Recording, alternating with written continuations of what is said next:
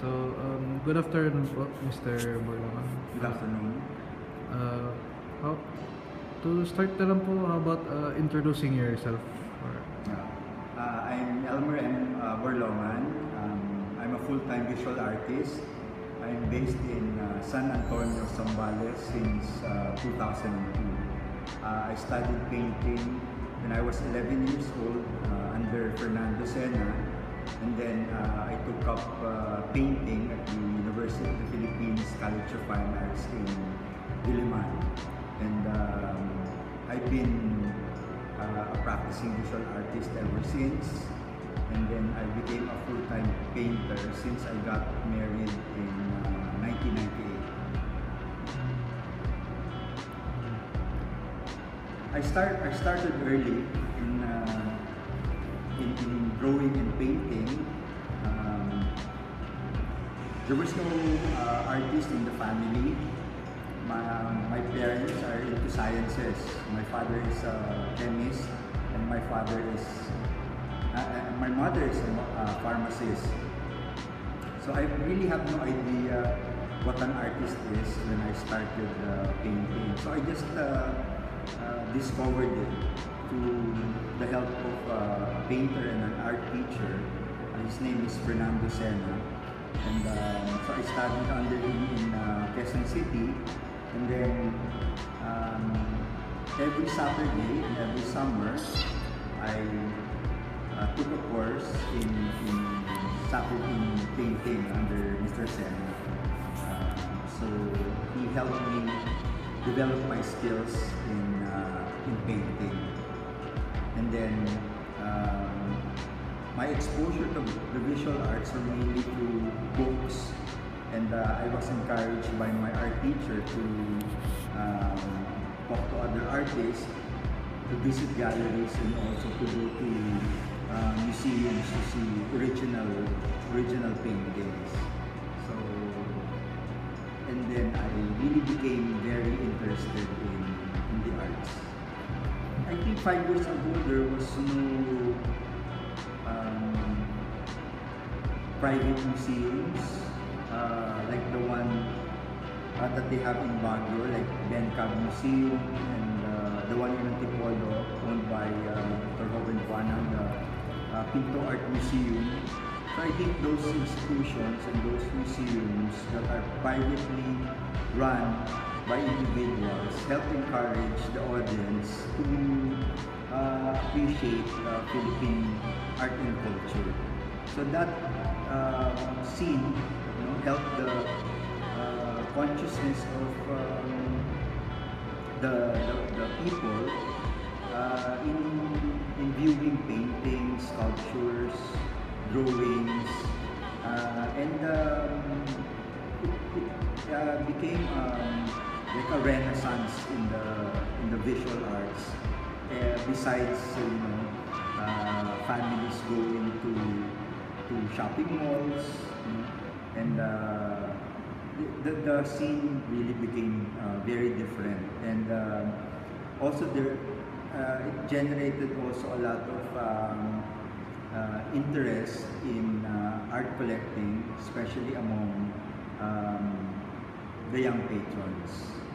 And uh, there are also lots of art students um, who are really very good in their uh, chosen field.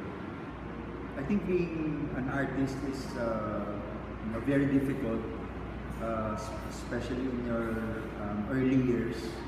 Uh, especially if you're, um, you know, struggling and um, you're not yet uh, recognized by uh, the type of art that you that you do. So it has been a you know a constant research and uh, developing my skills and developing my my style. And uh, I think after um, my art studies in, in UP, um, my friends and, and myself developed uh, a type of uh, uh, figuration that uh, you would consider uh, expressionist uh, mainly based on it's and, uh, also influenced and inspired by um, our idols, Filipino artists Danny Dalena, Jaime de Guzman, and uh, Oni. So I think it naturally developed towards that uh, direction. I hope Philippine visual arts can still continually to uh, continually develop and uh, uh, progress, and uh, I hope we can still um, create our um, own identity uh, when it comes to um, in terms of the international art scene. Mm. And uh, you should, I, I think um, Filipino visual artists should just be uh, true to themselves. you know. Um, you just have to find yourself and uh, don't think of what people will say about uh, what direction you will take. It, mm, I think the most important thing is uh, not to be stagnant and uh, continually develop uh, in terms of uh, uh, forms, concepts, and also seek new materials in uh, expressing your ideas. Uh, well, the projects I chose uh, for myself are, if I find it challenging and if it uh, um, if it's exciting and uh, it's not so much different to the type of uh, art that I do. And um, mm, the projects that I usually take are uh, murals, public art, um, which I have been also active in uh, my practice as a visual artist. I've been a member of uh, the Abay group or the Artista ng Bayan, uh, which is a socio-political uh, art, um, visual arts group in the uh, late 80s. And then after that, I revived my uh, uh, college group, which is the Grupong Saling Pusa, which is into interactive uh, murals and also um, group shows. And um, and then uh, I became one of the founding members of uh, Sanggawa, which was also into uh, doing um, murals. Um, the projects that I take are normally um, paintings or artworks that are narrative. So that's why I don't uh, uh, compromise in uh, the styles that I do. So it's mostly um, figurative and uh, it also has some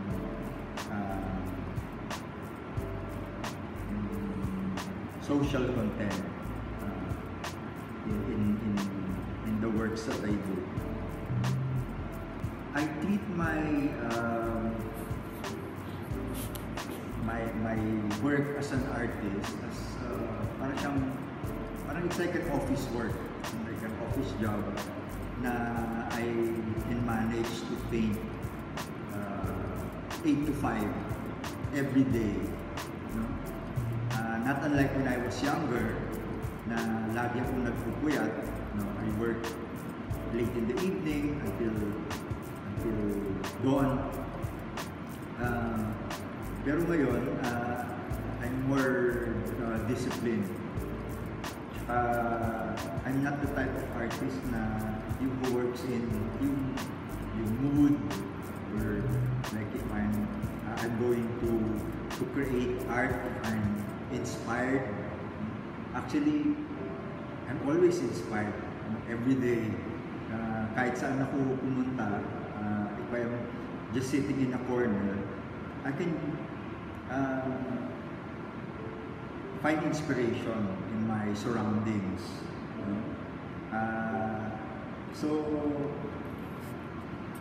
I balance my time like for my painting hours or my art making and then the rest of the time uh, it's ano na devoted to my my marriage you know? uh, I have a wife who is also an artist. Her name is Plet Bolipata um, uh, it, I'm also fortunate because I have a partner who understands my line of work. And uh, on weekends visit my uh, parents uh, in Mandaluyong also my brothers we spend time together. I think because my parents are already getting older and uh, they're not really uh, strong anymore physically so I spend time uh, with them uh, and then I share uh, stories and experiences of my life as a painter. To keep me inspired, I always uh, look at uh, art books. Um, I also get inspired by uh, photography. Uh, I watch films. Stories and, and novels, which help me a lot in uh, in my paintings, in the images that I do, and um, because my paintings are about everyday life, so I enjoy uh, observing people in the streets. Um, and uh, I also keep a sketchbook. Uh, I always bring a pen and a sketchbook with me every, everywhere I go, I go. And then I jot down uh, small um, rough sketches, doodles, and drawings. And um, uh, it also keeps me, I I keep it like a diary. So every time I start a painting, I will go uh, go through all these uh, sketchbooks uh, that I keep, and then I choose the ones that I think can be developed into a painting. So besides looking at, at books, I also uh, I also go to uh, galleries and interact with um, my fellow visual artists.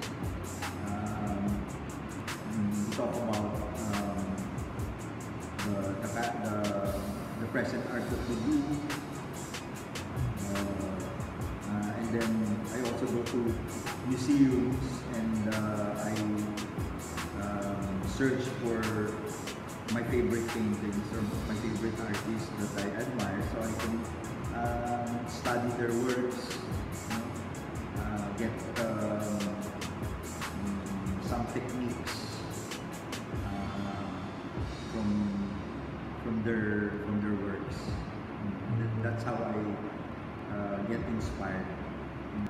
Um, there are so many opportunities in the visual arts. Like if you're um, a young artist, you can uh, join art competitions.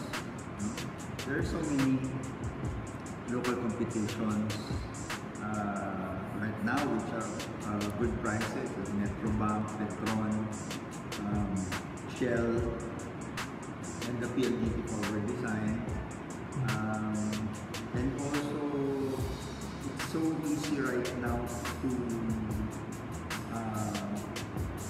have exhibitions. You can just give a proposal for a gallery and then uh, at first if you start with a group show if you're not really that um, confident to build a body of works uh, to hold a solo exhibition. And uh, besides uh, having exhibitions, you can also apply for artist in residency uh, abroad. There are so many artist in residencies in Asia, uh, in, in Ibaraki, in, in uh, Fukuoka, and uh, you can also apply artist in residencies in